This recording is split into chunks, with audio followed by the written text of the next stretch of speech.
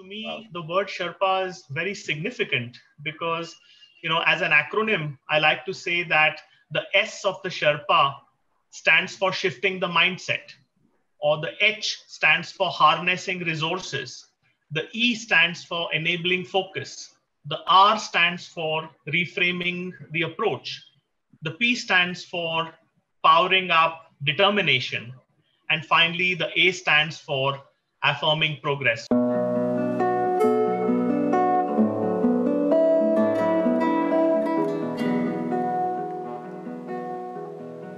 First of all, I was very fortunate because, you know, I got very good help in my early days of cancer. That is now 19 years ago. And ever since then, I've asked myself, why not others? Why can't others get the same high quality help in their early days like I did? So, in a way, the seed was planted then for me. And then many years later, I decided that it's probably a good idea to bring together my 15 years of cancer experience and my 15 years of coaching experience and see whether the methodology of coaching can actually uh, do something different in the field of cancer that had never been done before. So, in a way, I am determined to help reduce the suffering that people feel, not so much in the medical space, but in the non medical space. And really, that's the reason why I got into the field of uh, cancer coaching during my illness, when I went through cancer, uh, a lot of material came across through family and friends on the Mind Body Connect. And uh, then when I attended the Sherpa training that you conducted, um, all the readings that I did, all the uh, things that I learned, there were some very interesting and new concepts that came, like the family uh, constellation therapy, the Ho'oponopono, uh, very powerful tools, tools that are being used in different parts of the world. Uh, but you know, I had really had no idea at all. And those things basically, you know, just uh, uh opened up um, a lot of possibilities for me.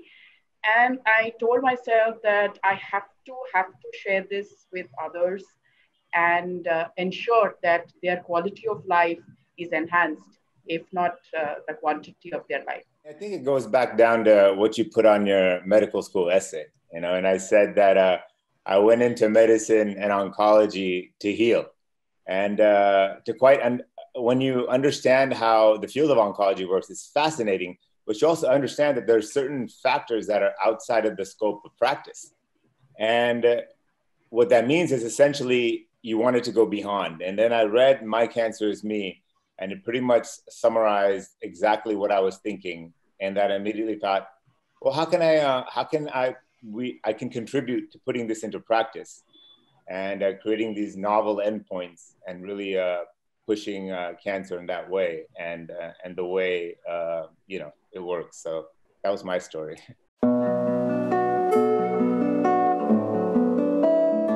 First of all, for the audience, I, I didn't know what a Sherpa was until I was involved. The Sherpa helps you guides you as you you know climb up the mountain. I mean, that wasn't the best definition, but in the sense that uh, you know it really takes someone who is willing to face their own uh, imperfections and understand that sometimes uh, these things contribute to our own level of inflammation, which then translates into you know how we feel and stressors. So it takes someone who kind of wants to be a, a little bit conscious of what's going on in their life, uh, both from a medical perspective and from an emotional mental perspective and uh, really being open to the field of science in general not only the application but what it implies and then also themselves so. um, talk about the hardiness of the sherpas their expertise their familiarity with the dangerous terrain and the experience that they have at high altitudes right that makes them for a good guide a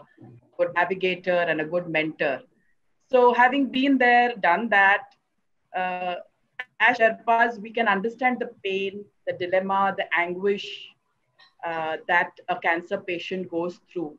And uh, as Sherpas, we help the thrivers, um, the people whom we coach, to navigate through that arduous journey that uh, they go through as uh, after cancer or during their cancer treatment? I've always been impressed by the Sherpa from my trekking days when I was young. And I found it fascinating that here is a group of people that carries the load for the mountaineer. They navigate the terrain for the mountaineer. But for me, the most powerful thing was that they don't want the glory of climbing the summit. Yeah. That they want the mountaineer to climb the summit and they are happy for the mountaineer to feel great about climbing the summit. So for me, that is the attitude of the Sherpa, which I really thought was valuable and something that we could bring into cancer coaching. So to me, wow. the word Sherpa is very significant because, you know, as an acronym, I like to say that the S of the Sherpa stands for shifting the mindset, or the H stands for harnessing resources. The E stands for enabling focus. The R stands for reframing the approach. The P stands for powering up determination. And finally, the A stands for affirming progress. So if we as Sherpas can do all of this, shifting the mindset, harnessing the resources, etc., and we are not worried about the glory, what we are really keen on is to help our thrivers take that healing journey, then we are on a good wicket.